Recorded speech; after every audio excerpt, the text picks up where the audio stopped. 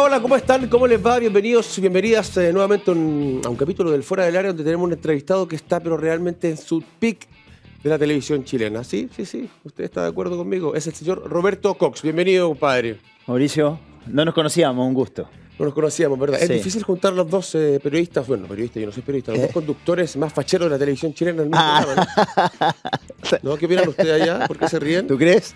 Sí, por supuesto. Bueno, si tú lo dices, te hago caso. Resistido, ¿ah? resistido. ¿ah? De repente las redes sociales son un poco críticas y todo, pero eso, eso es Da un bonito nomás, da lo mismo. fachero. Ah, claro, es por eso. ¿Cómo estás, Roberto? Igual te voy a reconocer algo. Primera vez que le doy la entrevista a una persona que he puteado tanto en mi vida. No me digas eso, palo de mierda ese. Eso, ¿no? Pero ya debe estar acostumbrado hablando de haters y todo no, eso. pero por supuesto, es pan de cada día. Cla- te, te he puteado mucho vida, pero. ¿Y sabes que yo me he autoputeado también? eh, me ¿Por qué imagino. no le pegué más despacito? Me ¿Por qué no busqué un palo? Me no? imagino, me imagino. Pero bueno, estuve Pero, siendo pero dice que el, el tiempo cura las heridas y bueno, ya te hemos perdonado. Es una herida incerrable. No, ya está, ya. ¿Qué le vamos a hacer? ¿Tienes alguna herida que no has cerrado tú? Eh, tanto? eh, no, no, estoy ¿No? muy tranquilo. ¿Cómo estás hoy día en el matinal de Chilevisión? ¿Te lo esperabas? Eh, no, no me lo esperaba. Estoy ¿Qué- así- ¿Cómo te llamaron? ¿Qué, cu- cu- ¿Cuál fue la, la dinámica? Nada, yo estaba en el- estoy, en estoy actualmente en el noticiero y estaba en el noticiero de la mañana, el que va de 6 a 8 de la mañana. Eh, a las 8 más o menos yo me iba para la casa. Entonces ahí hubo una inquietud de querer hacer más cosas, de querer buscar un lugar en el canal, no sé, encontrar un lugar para hacer más cosas. Y ahí me propusieron integrarme al matinal en el mismo panel con Julio César, La Monse y yo. Matinal, Eh, que es el más exitoso de Chile. Sí, le ha ido bien y nos ha ido muy bien. ¿Te suerte. sientes cómodo en esa faceta? Es raro, ¿Sí? es raro. Porque el noticiero es mucho más, primero es mucho más dinámico, vamos cambiando de tema mucho más rápido. Eh, los puntos, los Eh, puntos marcan, marcan allá, marcan acá, hay que ir moviéndose y, y- el, sobre todo el noticiero de la mañana que tenemos nosotros va muy rápido, pasan cosas en vivo, pero ne- tenemos la necesidad también de en dos horas compactar las noticias y tratar de contar lo máximo posible. Y el matinal, como dura cinco horas, todo toma más su tiempo, eh, hay más conversación, hay más opinión. Nosotros que venimos del mundo del periodismo tal vez estamos acostumbrados más a la noticia dura y no a opinar tanto. Claro. Y en el matinal hay que opinar, a veces hay que mojarse un poquito más el potito. Y ese cambio yo creo que lleva un tiempo. Todavía no me acostumbro del todo. ¿Sí? Hay que ¿Te agarrarle la por, por temor? ¿Por Puede- temor quizá a, a la opinión pública hoy No, día? pu- puede ser por. No sé si por temor, no, no, no tanto por temor, pero. Tú eres súper directo para todo, siempre dices lo que piensas. Sí, pero me cuido igual a veces. Se cuida, me cuido igual. me ¿no? cuido. Pero yo creo que también la gente que ve matinal está buscando que uno diga lo que piensa. O que la Está. Sí, bueno. El hater está buscando Pero- que pero uno la cague, sí, que se pero- equivoque en algún concepto o que dé una opinión que no está de acuerdo contigo. Ya, ¿y qué va a pasar? Te van a funar un par de días y después pasa. Oye, pero entrar en un matinal con una dupla Pero- tan consolidada, Eh, o sea, lo, lo difícil del, del matinal este es que estás con una dupla muy consolidada. claro. Julio, es Julio tal vez el conductor número uno de los matinales en Chile. La Monse también está muy consolidada ahí. Entonces tú entrar en ese esquema es como en el fútbol. Sí, Entrar en un sí. equipo que está muy bien armado y tú más o menos tienes que empezar a buscar tu lugar porque tú tampoco eres ellos. Por supuesto. Entonces, entrar en esas dinámicas y en el equipo a veces puede ser complicado. ¿Y el equipo ha sido solidario contigo también en eso, insertarte sí, rápidamente? Poquito a poco hay que nos vamos acomodando en el equipo. Bueno, porque tú eres un experto en el terreno, o sea, estás siempre en terreno, en, en donde las papas queman y pasar a un estudio es diferente, ¿no? Echas de menos un poquito eso de Es que ¿sabéis lo que pasa? estar en la Eh, guerra propio. Sí, extraño mucho la, eh, la calle, el terreno, los viajes sobre todo. A mí Chilevisión me ha, dado, me ha dado mucha oportunidad de viajar a hacer cobertura internacional. El año pasado, por ejemplo, para mí fue el mejor año, uno de los mejores años de mi vida porque me tocó, estando en Chile, me tocó viajar. Por ejemplo, a principio de año fuimos a Afganistán a estar con los talibanes, cuerpo a cuerpo con los talibanes, que fue el- una de las mejores experiencias de mi vida. Imagínate. Después fuimos a Francia, el juicio de Nicolás Cepeda en Francia, el chileno que está acusado de, de haber matado y haber hecho desaparecer a su novia japonesa. Después murió la reina en Inglaterra, 10 días en Inglaterra por la- el funeral de la reina. Y después otro gran sueño de mi vida que fue un mes en Qatar por el Mundial. Eso fue Entonces, increíble. a mí, a mí ahí, vamos, ahí vamos a entrar a una historia que quiero que me la vas a contar con más detalle, pero me quiero remontar Ah. al principio. Volvamos al principio. Sí, ¿Es verdad que tú partiste en el patio de tu casa? eh, sí, sí. Con un amigo hacíamos un programa que se llamaba Seattle Leí. ¿Y qué edad ¿Qué- tenías tú? Tenía 11, 12 años. y hacíamos un programa de televisión que se dedicaba a analizar la actualidad de lo que pasaba en Católica. Ya, pero porque tú Entonces- soñabas eh, con el periodismo y con la televisión o solamente porque te gustaba el texto de las comunicaciones en un principio muy- pequeño? Eh, no, me gustaba el periodismo, la comunicación, era fanático, soy fanático de la Católica, entonces combinaba mis dos pasiones en un programa de televisión. Cruzado. Sí. cruzado Y ahí lo hacíamos en el patio de mi casa con bandera luce, invitábamos amigos que eran el público. ¿Y, cómo Y se en ese tiempo no existía edición digital, no existían cámaras digitales, entonces era todo grabado en, unos vide- en unas cámaras de video que tenían cinta, lo teníamos que editar de forma muy casera y todo eso, ese fue mi, el primer programa de tele. Qué maravilla. ¿eh? Se supone- eso, ya, ya estás, ya te venías eh, pavimentando el, el- el camino hacia. es que yo terminé el colegio y sabía que lo único que quería hacer era estudiar periodismo. No había Sí. otra opción. Postulé a Derecho también, quedé en Derecho, pero fue como un saludo a la bandera nomás. Era, era- era algo innato. ¿Y qué te, qué te decía sea, tu familia? O sea, te estudiaste Derecho, quedaste, tenés todas las posibilidades de ser un abogado que sea exitoso y te fuiste por las comunicaciones, que era una tarea Y muy difícil. Imagínate, mi, mi padre, hombre más grande, mi papá me tuvo muy grande. Hombre conservador, de una familia así, muy conservadora de Santiago, un tipo muy tradicional. Él yo creo que su sueño era que su hijo fuera abogado, yo creo. Claro. Él era diplomático. Entonces el día que yo termino el colegio, doy en ese entonces la PAA, la termino, voy a, él tenía una biblioteca, estaba todo el día sentado viendo noticias, leyendo el diario y fumando. Golpeo la puerta y llegaba la hora de decirle, papá, quiero estudiar. ¿Qué quieres estudiar, hijo? Quiero estudiar periodismo. Y se agarró la cabeza. Wow. Dijo, puta la weá, weón. Los periodistas son todos unos mentirosos, unos fascinerosos, weón. No, no puedo creer que mi hijo quiera estudiar periodismo y todo eso. Se lamentó como cinco minutos, no podía creer. Y, y me miró y me dijo, ya, listo. ¿Dónde quería estudiar? Mi papá era así. Alegaba, O sea, alegaba, Se protestaba. la comió calladito y dijo, ya, Sí, ¿dónde o sea, vamos? cinco minutos alegaba y después te decía, bueno, ya.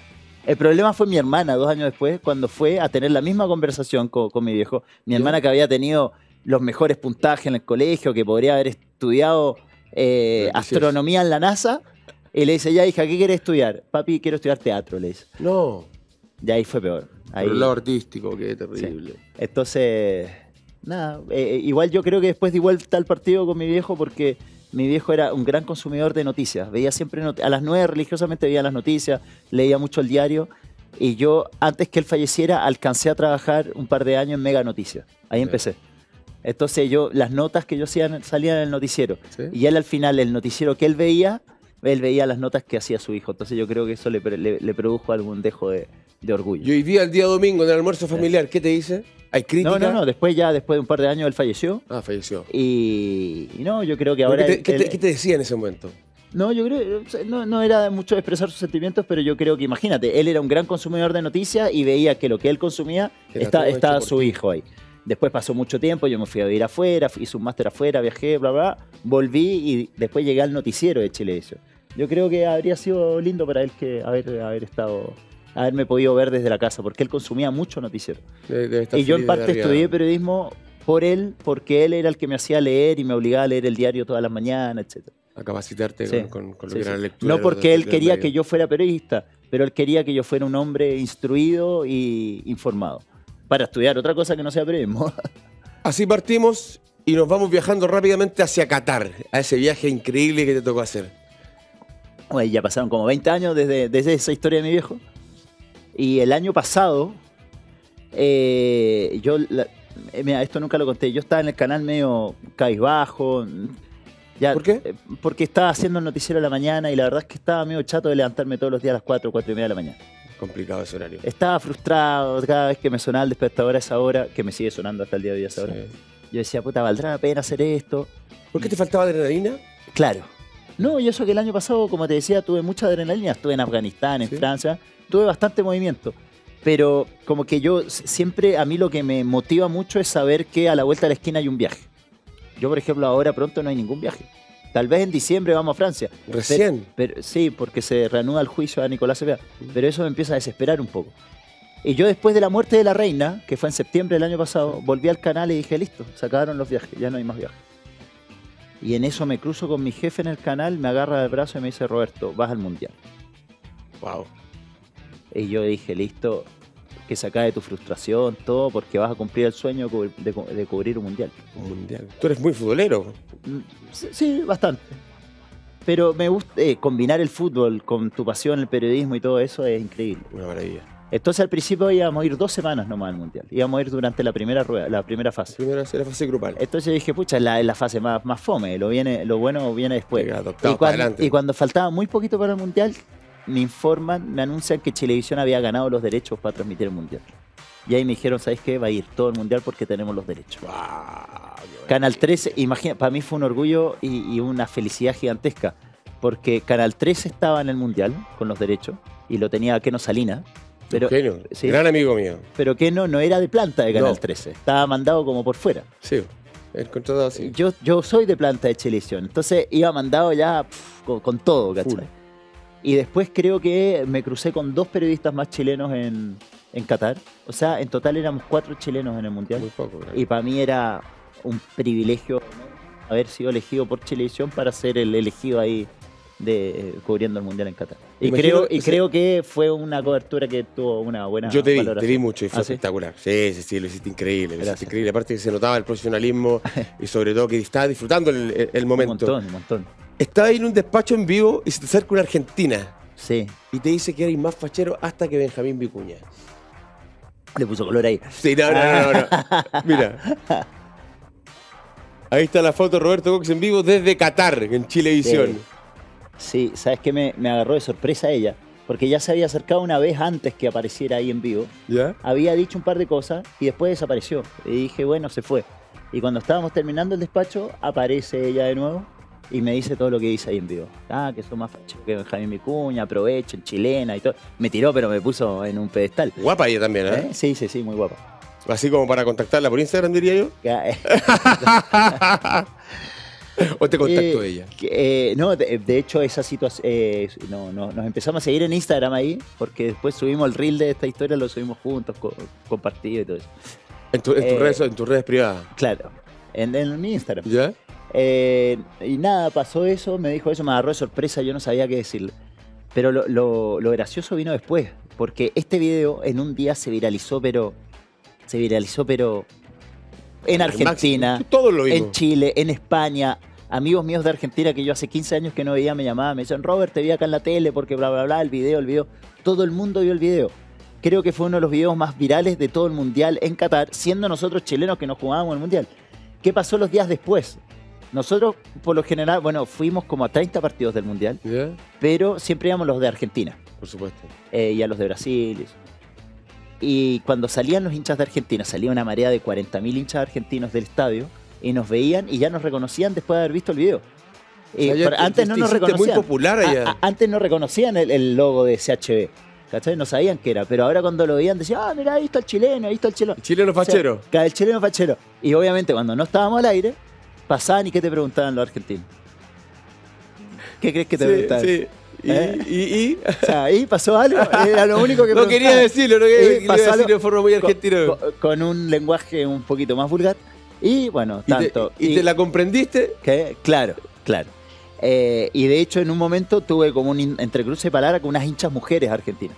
Porque no estábamos al aire, estábamos esperando salir al aire y se me, pa- se me paran dos hinchas argentinas y me dice, chileno, qué dormilón que sos, ¿cómo dormiste, chileno? Sos un dormilón, estaba regalada, me dice, estaba regalada y vos dormiste, sos un pelotudo, ¿no? Y yo pensaba y decía, no estábamos al aire. ¿eh? Y, yo, y, me puse a hablar con ella y le dije, a ver, a ver, le digo, ¿qué era lo que tenía que hacer? Estábamos al aire en vivo. ¿Tú ¿Cachai? Que hoy en día no, o sea, no, No, no se puede hacer nada, no, no hay que hacer nada. ¿Qué, qué, qué, qué Te querías fue una que sea? por- por- por No, pero no le iba a dar un beso, no, no le iba a tomar ni un pelo, porque después puros problemas. Claro, te fue una. Entonces le dije, a ver, ¿qué querías que hiciera? Que, no sé, que, que le dé un beso ahí en vivo, que, ¿qué? ¿Qué tenía que hacer? Claro, te- trabajando Y- en televisión, bueno. en medio de comunicación, no se podía, No, no podía claro, hacer esas cosas. Claro, claro. Traté de echar un poquito la talla, pero no, no puede hacer nada. Me decía, qué dormilón que sos, cómo dormiste, ¿Te chileno. cagaste un poquito? ¿Qué? ¿Te cagaste un poquito? Es que no sabía qué hacer. No sabía cuál era la Te forma. pilló de sorpresa. Sí, y no sabía cuál era la forma eh, eh, de salir jugando, al menos de forma graciosa. Porque no le iba a dar un beso ni nada. y No, claro. La gran kiwi iba a ser. No, el kiwi, amigo mío, por eso aprovechamos de mandarle un, un gran saludo. Oye, pero tení un montón de, de- de- de momentos maravillosos en Qatar. ¿Cuál fue el más especial, aparte de este? Eh, el más espe- bueno, eh, mi mamá es argentina. Bueno, Y yo viví casi un tercio, la mitad de mi vida en Argentina. O sea, ella se vino con tu padre para acá, una cita acá en Chile. Yo nací en Suiza. ¿En Suiza? Sí, mi papá era diplomático, estaba destinado en Suiza. Mira, Mi mamá era hija de, de un papá suizo que se había ido muy joven a Argentina. ¿ya? Y cuando ella era joven se fue a vivir a Suiza y ahí se conoció con mi viejo y nací yo. Entonces yo tengo mucha cercanía y mucha relación con Argentina. Amo Argentina y extraño mucho mi vida allá. ¿Y va ahí de vez en cuando? Voy muy seguido. Tengo familia, mi mamá vive allá, todo. Qué rico Buenos Aires. Sí. Entonces, haber estado en la final, y, la- y esa final, eh, a Argentina-Francia y haber visto a, a Argentina y a Messi levantar la copa ahí, fue, como hincha del fútbol, fue muy emocionante. Porque acá en Chile no queríamos, no queríamos mucho que fuese Argentina el, el ¿Tú no querías? No es que no quería, pero se No hablaba quería, mucho. no que- no Lo quería. que pasa es que la rivalidad, quería. igual tenía, ten- tenía el Papu Gómez ahí, tenía varios amigos míos en Ya. las selecciones. Por una parte sí, por otra parte ese cancherismo, ese cancherismo que tienen de... Está bien, sí, pero a ver, como jugador de fútbol Sí. y como hincha del fútbol, yo creo que el, el- el fútbol le debía a Messi un mundial. De todas maneras. Entonces, O sea, por Messi, hay algunos que yo tuve un par de rencillas ahí en la selección y no me gustaba mucho la forma de ser que tenían, sobre todo Paredes, que lo conocí muy pendejito cuando jugaba en el Empoli y después se transformó en este tremendo jugador. Pero también se puso medio pesadito, pero no, en verdad, Messi merecía esta Copa del Mundo y hoy día se puede ir a Miami a jugar tranquilamente. Mira, yo no es que iba a los estadios a ver a Argentina y a saltar y a gritar, no, yo lo, lo veía tranquilo los partidos. Pero esa final y cómo se dio la final también, el último penal de Argentina, cuando Argentina gana, fue la- eh, haber estado ahí en ese momento es una imagen que no se me borró. Sí. Fue tremendo. Me imagino que otra imagen que no se te borra es cuando te comiste, ¿comiste camello? Comí camello, sí. Sí, sí, sí, un catarí nos pasó a buscar por el... El catarí que era amigo tuyo que te invitaba a todos lados, conociste allá, ¿no? Claro, que me mandó flores al, al- al- al hotel. No me espera un segundo. Vamos a hacer una pequeña pausa y ya seguimos con Roberto Cox aquí. Todas estas, estas maravillosas historias de sus viajes, de su experiencia en el matinal. No se separe, ya volvemos. Aprovecha y entra a latamwin.com. Te regalamos un bono de 5 mil pesos en tu primera apuesta y doblamos tu primera carga hasta en 100 mil pesos. Más información en latamwin.com. Te presento a la mejor casa de apuestas deportiva, que además te regala 5 mil pesos para tu primera apuesta. Muy fácil y rápido. Gana y deja el zorro. Latamwin. ¡Sabe mucho! ¿Quieren ver cómo dejo el zorro? Entra a latamwin.com. Latamwin, sabes, apuestas, ganas. Y ya estamos de vuelta en este segundo bloque con eh, todas estas historias interesantes de Roberto Cox. Me estabas comentando que comiste camello una- y te hiciste amigo de un catarí que te llevó a todos lados. Sí, Un catarí con billudo. es que allá todos los catarí catarí tienen plata. ¿Sí? Todo, el 20% de la población es catarí tienen plata. 20%. Eh, un día llegué al hotel, el recepcionista del hotel me dice, Mr. Cox, tiene algo para usted y me pasa un ramo de flores. Yo dije, qué raro que me manda flores acá en Qatar. Y veo la tarjetita y era un ramo de flores que me lo enviaba un hombre. Y yo dije, ¿qué querrá decir que un hombre en Qatar te mande flores? Raro. wow. Un país donde, por ejemplo, la homosexualidad es ilegal. Por supuesto. Entonces me había dejado un, un WhatsApp y un Instagram. Este tipo igualmente ya sabía quién era y me había mandado un inbox por Instagram y me, y me dijo... Yo, Ahí está tu amigo. ¿Cómo se llamaba? No, no era él. ¿No era él? No, no, ese, este era otro. Este era otro jeque que conocimos y nos invitó a su casa para mostrarnos el palacio que tenía y todo eso. ¿Y cómo engancháis con eso? ¿De qué, de qué manera? Esto fue de casualidad. Nos conocimos a un, a un tunecino haciendo notas por la calle y el tunecino me puse a hablar con él y era, él era guardaespaldas. Me dice, yo soy guardaespaldas de la gente más rica acá de este país. Le comenté que yo tenía ganas de ir a la mansión de un jeque catarí porque queríamos grabar por, por dentro de una Los mansión. lujos, claro. Ah, yo tengo aquí el amigo perfecto y nos presentó a él, al que salía ahí en la foto, y nos presentó su mansión, una mansión de cuatro pisos con ascensor por dentro, llena de lujo, oro, diamantes, de todo. Y volviendo al tema de las flores, este era otro catarí que después me escribe y me dice, Mr. Cox, yo lo quiero pasar a buscar por su hotel, a usted y al camarógrafo, y los quiero llevar a comer camello y hacerle un tour por la ciudad.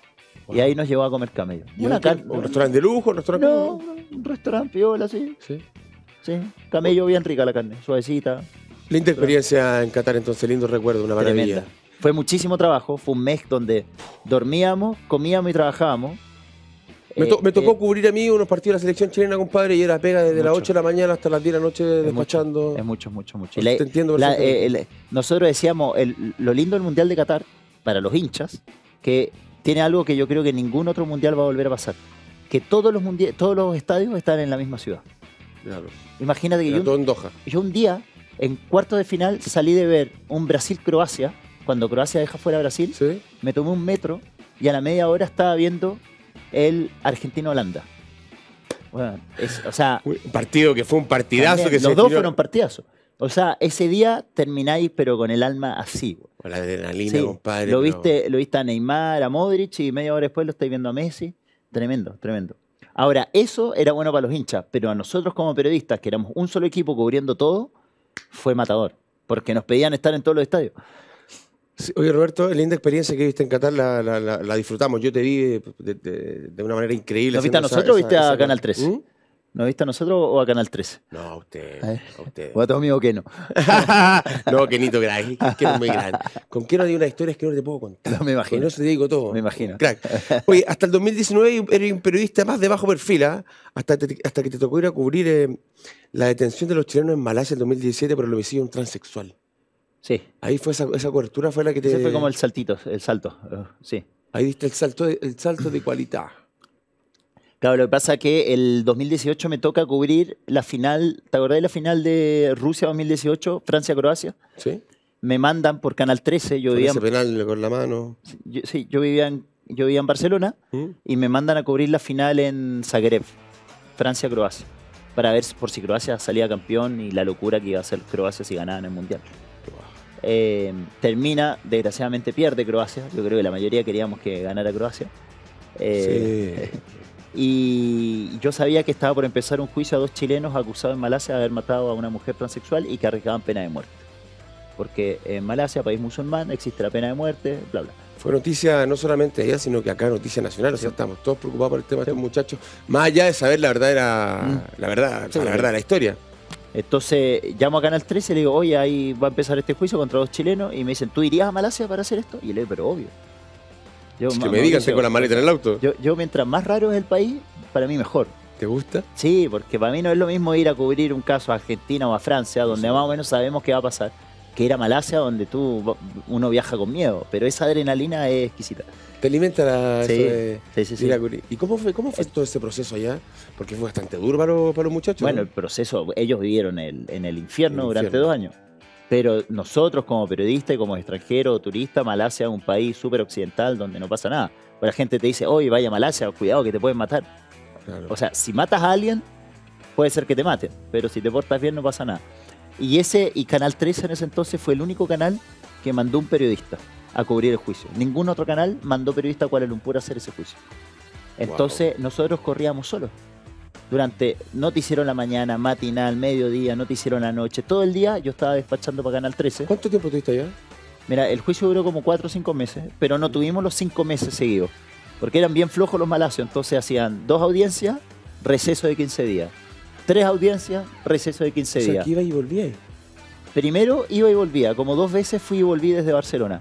Pero a la tercera vez que fui a Kuala Lumpur, le dije a los de Canal 13, ¿saben qué? Yo este, este viaje no lo hago más, porque era larguísimo. Sí, po. Entonces yo me voy a quedar estos 15 días, voy a viajar, no sé, a Tailandia, 15 días. Después volví a Kuala Lumpur, después me iba a Bali, 15 días. Ah, no, a pero puro huear. Puta que lo pasáis mal, weón. Qué No, no, no, no. maravilla, por Fue Dios. el mejor trabajo del mundo. Fue el mejor trabajo. Y cuando me enteraba, oye, en un día va, se inicia el juicio, tuc, me volía a Kuala Lumpur porque estaba ahí al lado. Oye, este programa lo empezaron a grabar en otras ciudades, weón. Ya me tienen chat, ustedes me tienen encerrado en estudio acá, compadre. ¿Están de acuerdo, ¿eh? Lo podríamos grabar en Tailandia, no? ¿O podríamos hacer ¿Eh? un programa juntos con Roberto? viajando por el sudeste. Unos viajecitos nos pegaríamos. Pero uno de esos viajes también fue algo complicado, ¿ah? ¿No? Pero, y para terminar eso, eh, fue, fue tanta la, fue tan mediático ese caso. Y, y nosotros éramos los únicos que estábamos ahí, que al final cuando termina el caso me llaman de Chilevisión y me dicen, oye, ¿te gustaría volver a Chile a trabajar con nosotros? Y ahí fue que decidí volver, a pesar de que yo en ese entonces no quería volver a Chile. No quería volver. ¿Y por- No. cómo te convencieron? Porque me ofrecieron una pega y no me pude negar. Muy buena. Sí. Oye, estuviste en la frontera entre Croacia y Bosnia con una hierbita mate.